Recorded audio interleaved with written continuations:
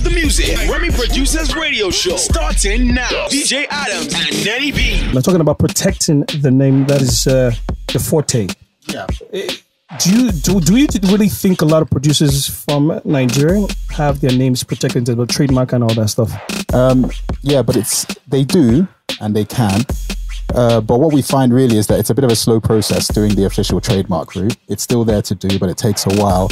But what a lot of them are doing to get around that is is um, by just making their names well known. Right. Um, so a lot of the sound marks that they use in, in beats now, that's a good way of at least establishing that they own a name. Although it's harder to enforce without some sort of trademark, but it doesn't mean it's not enforceable. So at least they started now by at least using their names in all their all this all the music they produce, and people start getting more familiar with them that way. Brought to you by Remy Martin.